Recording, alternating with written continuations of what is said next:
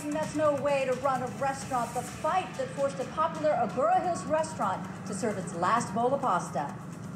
A popular Italian restaurant in Agoura Hills shut down unexpectedly this week, and not because of lack of customers. It happened because of a fight over parking, and that led to some serious drama.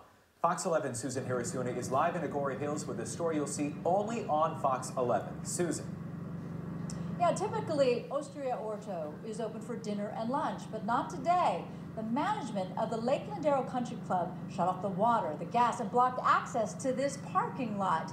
So now the chef says no more. The country club says that his lease is invalid and owes a lot of money.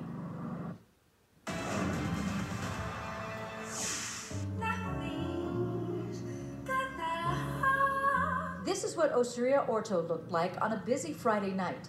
This is what it looks like now. We've taken down all of our paintings from the wall. Um, you know, we're just kind of slowly trying to gather all of our um, all of our equipment and our you know personal belongings. The popular Italian restaurant was forced to shut down service Wednesday. The restaurant is located on Lake Lindero Country Club, and the management started to tell people they couldn't park in the club's lot. And worse, they chained and locked the gate. It was embarrassing. The gate was closed. People they had to walk around. The parking lot was completely dark, no light at all. At all. And I mean, all our customers they appreciated. They did it, but we didn't want to push it too much. It's not fair to the customer. Chef Francesco Pesce opened Osteria Orto on the premises of the club three years ago. The management insists the lease he signed with the previous management company is no longer valid. Chef Pesce says he has a judge on his side. I have this with uh, David Smith and GPL, and the judge hasn't said we are out yet. And he, actually, the judge, the judge said to us, you still have seven years.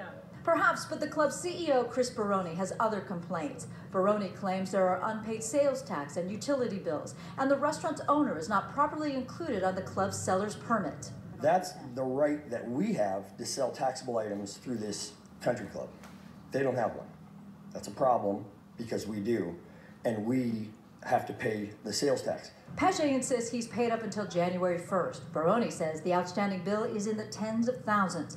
The tactics to get the restaurant shut down ramped up this week. The water was shut off, the gas turned off. The fight now seems contentious. If you look at the chain of events, chain off the parking lot, turn off the Chain off the water, turn off the gas.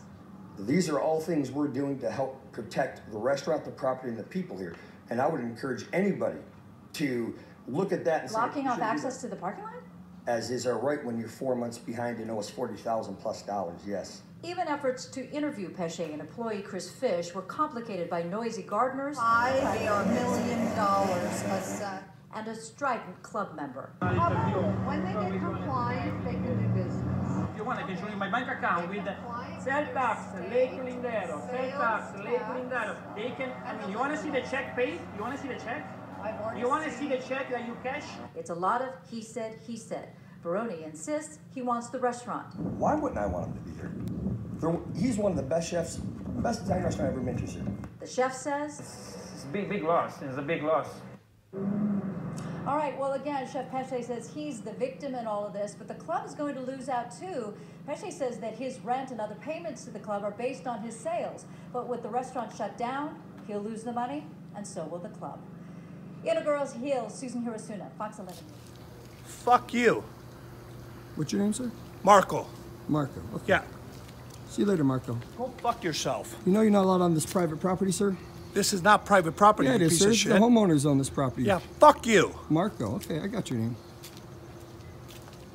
You're a piece of shit. Sir, can you please leave our property? Sir, please leave the property. I'm asking you nicely. Or else what? I I don't want to call the sheriff's and have Or, you el- arrested. or else what? I don't want to have to call the sheriff's and get Go you arrested. fuck sir. yourself. Please. I appreciate it, sir. Thank you. Go fuck yourself. You're a piece of shit. Let me tell you something. Go ahead, say it. Yeah. In this community, mm-hmm. I'm gonna make sure oh, you are? that no, yeah, make Okay. sure that nobody comes in this fucking oh, place. Oh, okay, Marco. Because you're a piece of shit. Okay, Marco. He's a piece of shit, by the way. Yeah, they don't believe you. That's Yeah. what he told you. Wrong place for you, Marco. Yeah, I'll tell you, it's wrong place for you. Okay. Okay.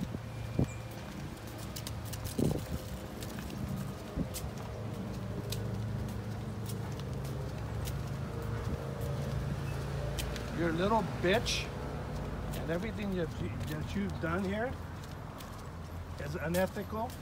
Okay, Marco.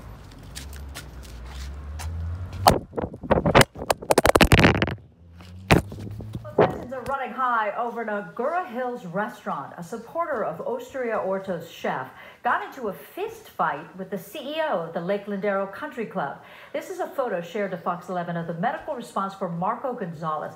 He tells me he declined the help and drove himself to the hospital. He says he has a black eye and was almost choked out by Chris Baroni. Now, Friday, we reported on Baroni's efforts to get the chef to leave his restaurant, starting with shutting off access to the club's parking lot. Chain off the parking lot, turn off the water.